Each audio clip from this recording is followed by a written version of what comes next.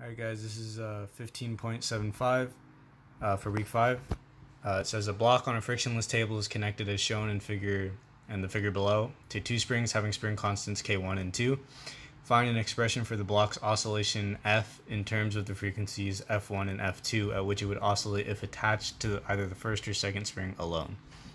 Uh, so this is the system we have here. Uh, it's a mass on the end of, again, two springs uh, laid attached end to end uh, both with different spring constants. Uh, to make that more clear, I drew a picture right here uh, in which I labeled the connection point between the springs with this dot, uh, if it wants to focus a bit better. Yeah, so this dot is kind of the point where the first spring ends and the second spring starts, and as you can see, they're attached uh, lengthwise to each other, uh, and then this is the first spring, and this is the second spring. so we can also think of it as, as a problem S we want the spring system as if it was only attached to either spring 1 or the same thing again with spring 2.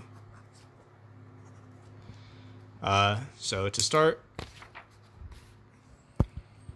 uh, again, what we want is an equation for each individual spring in terms of F1 and 2. Uh, so to do that, we have to break the spring down into both of its individual components uh, from the total spring constant, uh, as you see here. Uh, so we know generally that frequency is equal to the spring constant, uh, specifically for this problem, the net spring constant over m, uh, all that square rooted. Uh, and we also know this is just the same equation reorganized, but we know that k is equal to frequency squared times m.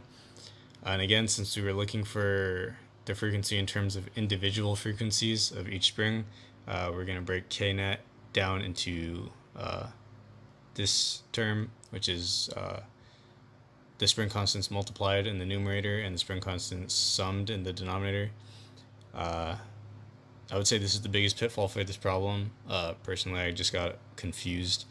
Uh, I assumed knet would just be the sum of the spring constants, but it is in fact this ratio instead.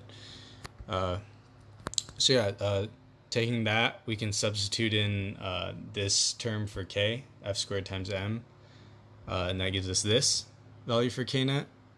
Uh, so then from there, it's pretty much just algebra and rearranging uh, to know that f total is equal to uh, this f1 times f2 over the square root of f1 squared plus f2 squared.